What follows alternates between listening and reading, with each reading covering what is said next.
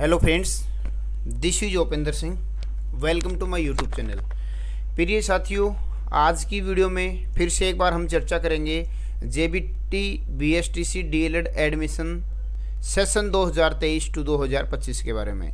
साथियों, कई दिन से बच्चों की बार बार कॉल्स आ रही हैं। क्या कुछ न्यूज़ आई सर? क्या कुछ जानकारी रही कोर्ट का? क्या कुछ डिसीज़न रहा? हमने हर न्यूज़ को आप लोगों के साथ शेयर करने की कोशिश की है।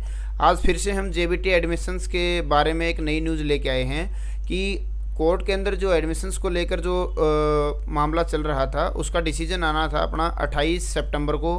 कोर्ट में वकीलों की हड़ताल होने की वजह से 28 सितंबर को काम नहीं हो पाया।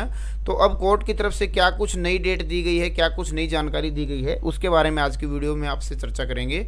यदि आप बीएसटीसी में एडमिशन लेने के इच्छुक हैं तो हमने आप लोगों के लिए हेल्पलाइन नंबर जारी किया है। आप इस कॉन्टैक्ट नंबर पर संपर्क कर सकते हैं। जो भी आपके डाउट्स हैं एडमिशन से संबंधित कोई जानकारी चाहिए तो आप बातचीत कर सकते हैं। साथियों ऑफिशियल वेबसाइट है high court Punjab and Haryana Chandigarh की।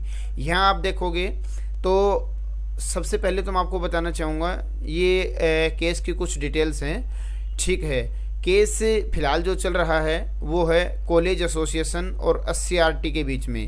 क्योंकि हरियाणा सरकार ने कुछ समय पहले एक नोटिफिकेशन जारी किया था 2022 के अंदर कि हम नेक्स्ट सेशन में डीलर के, यानी कि जेबीटी के नए एडमिशन स्टार्ट नहीं करेंगे।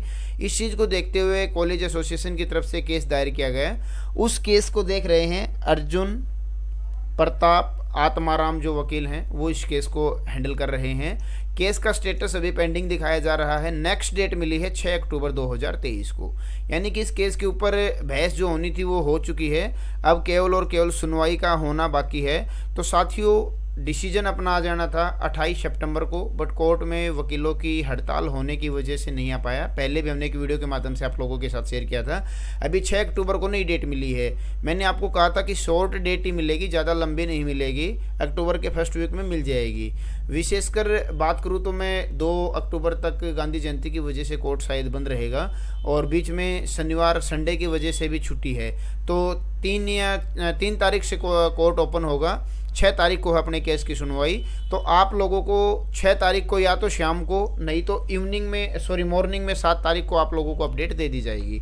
जो भी डिसीज़न आएगा, संभावना यही है कि डिसीज़न कॉलेज के पक्ष में आएगा, क्योंकि बच्चों के भविष्य को देखते हुए एडमिशन्स को बंद करना सरकार का जो फैसला है, वो कहीं हद तक गलत है। कोर्ट बच्चों के बारे में सुनेगा, डबल बेंच के ऊपर फैसला है, डिवीज़न बेंच के ऊपर।